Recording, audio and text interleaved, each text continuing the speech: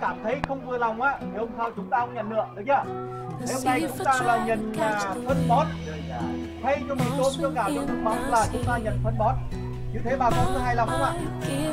Nếu hài lòng thì hô to lên. Đưa tay lên. à, tôi à, cực kỳ cảm động và cảm ơn bà con là có sự hài lòng như thế. tại sao? Mặc dù là 15 kg phân thôi nó chỉ giá khoảng 187 nghìn thôi. Nhưng mà phải biết rằng mình dùng cái phân đó mình có những cái trồng rau này cái năng suất của chúng ta nó sẽ ảnh hưởng rất nhiều. Và chúng ta sẽ được nhiều nhiều hơn thế nữa.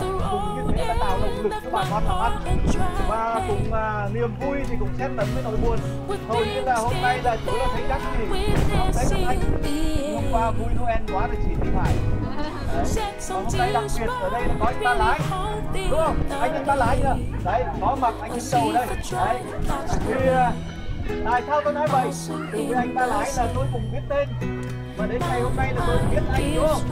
Đấy thì không nói nhiều được anh chỉ hiểu không? Thế được rồi nhá về phải cố gắng làm ăn nhá. cố gắng làm ăn chứ không phải là để để cái chuyện trong ngày này tôi à, đáng lẽ cái buổi hôm nay à tôi phải mời một số các gia đình trong danh sách á là gia đình hay uống rượu này.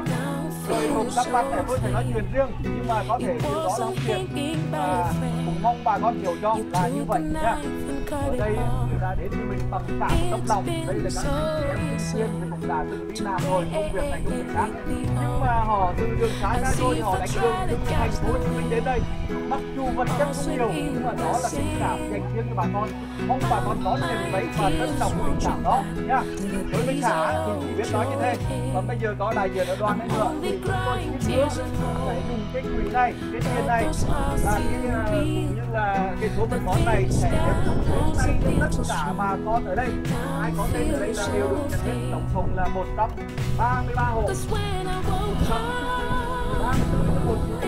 và bán được 134 hộ đấy ngoài cái nguồn tiền ở đây á, tổng trị giá ở đây là 21 triệu mấy trăm ngàn đó còn cái phần tiền còn lại tổng cộng là đoàn hơn 3 triệu còn 8 triệu 500 và một nữa và sau đó thì